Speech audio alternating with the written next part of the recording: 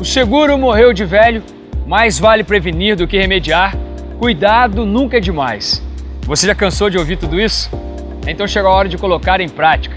Começa agora o 100% Seguro, um programa 100% para você.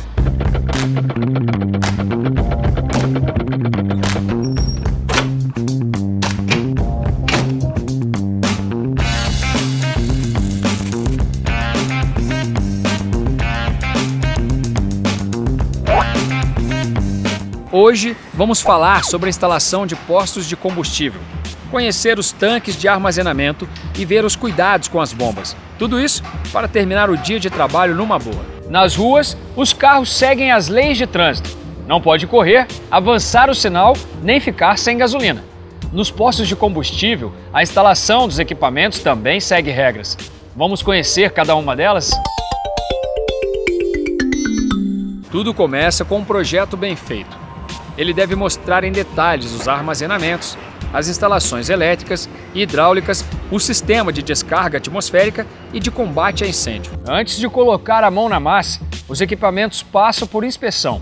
Se aparecer algum problema, a peça é separada dos outros materiais e o fornecedor deve ser avisado na hora.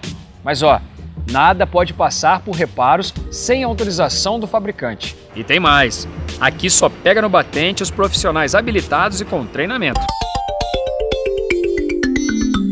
Para armazenar tanto combustível, só mesmo tanques de 15, 30 ou 60 mil litros. Eles podem ser de aço carbono com parede simples ou aço carbono com resina ou fibra. A estrutura é feita por um tanque primário e um secundário, e dentro dela não pode faltar um instrumento chamado vacuômetro. Com ele, é possível identificar danos causados no tanque secundário durante o transporte, desde a saída da fábrica até sua instalação no local da obra. Mesmo com os testes de fábrica, você vai precisar verificar esse aparelho aqui. Anota aí, a pressão deve ser negativa.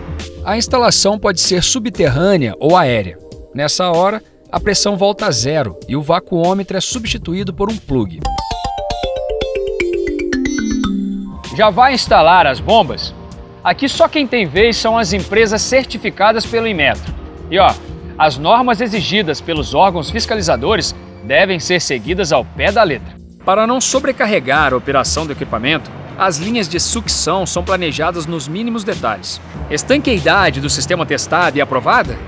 Agora sim, a bomba já pode funcionar. Mas antes, atenção com os motores.